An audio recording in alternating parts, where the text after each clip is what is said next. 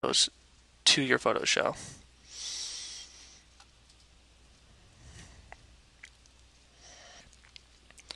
In Chapter 2, I'll be showing you how you can upload your photos to PhotoShow using one of the six available methods. Uh, I already showed you the basic upload. I'll now show you the batch upload. The batch upload is a way you can upload multiple files, multiple photos at once. To do that, just click the green Add Photos button. Go to the um, folder where your photos are stored.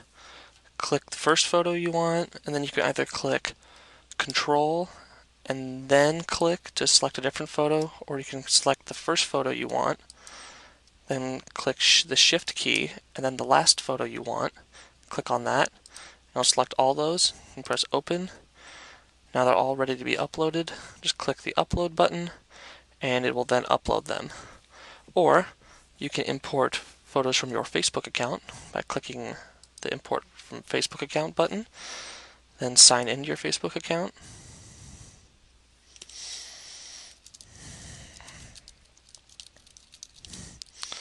say login. Now it's important to remember that while uploading photos from Facebook, you can only upload from albums you've created. So I'll go to Photo Show Photos, then just click the box, and once a green check mark appears, that means you've selected it. And then it will then, uh, if you click Personalize, it will then add those to a photo show. Or you can import from Shutterfly click this button to sign into your Shutterfly account.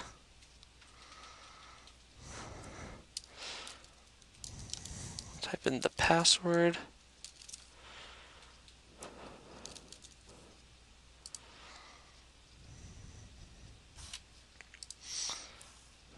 Now, once you are in here, say continue.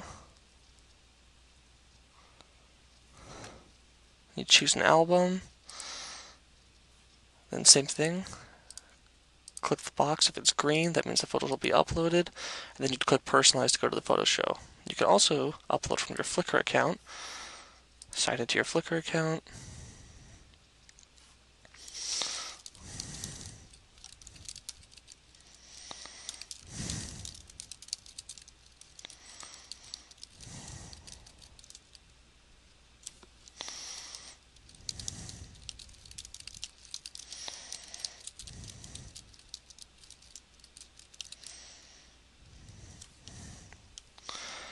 Once you are in here,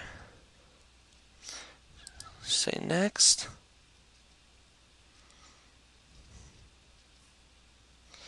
Say, okay, I'll authorize it.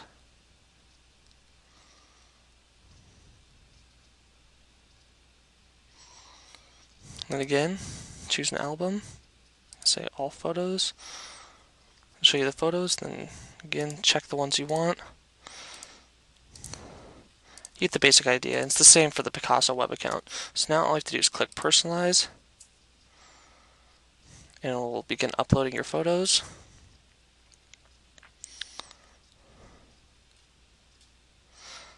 And that concludes Chapter 2. And in Chapter 3, I will show you how to personalize your show with